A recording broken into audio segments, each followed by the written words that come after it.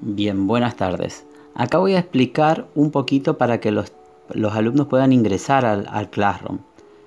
Si ustedes se dirigen aquí, donde está el cuadradito, van a encontrar que tienen, cuando abren Google, van a encontrar que tienen todas estas herramientas. Bueno, ustedes van hasta Classroom. Si no, no tienen esto, esta herramienta, van al buscador, lo buscan y lo descargan.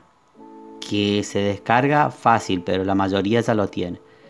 Ustedes ingresan, hacen clic aquí. Y luego yo les, les he enviado un, les va a aparecer así, y les he enviado un código al cual ustedes tienen que ir a este signo más. Unirse a la clase o crear una clase. En este caso, ustedes tienen que unirse a una clase, a la clase.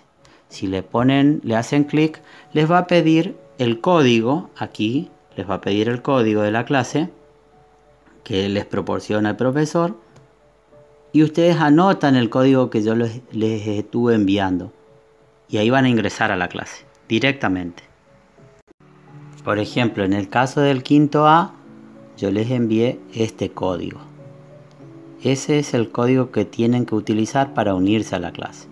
Bueno, ustedes ingresan y se van a encontrar con esta aula, que es del quinto, en este caso el quinto A, tomo un ejemplo.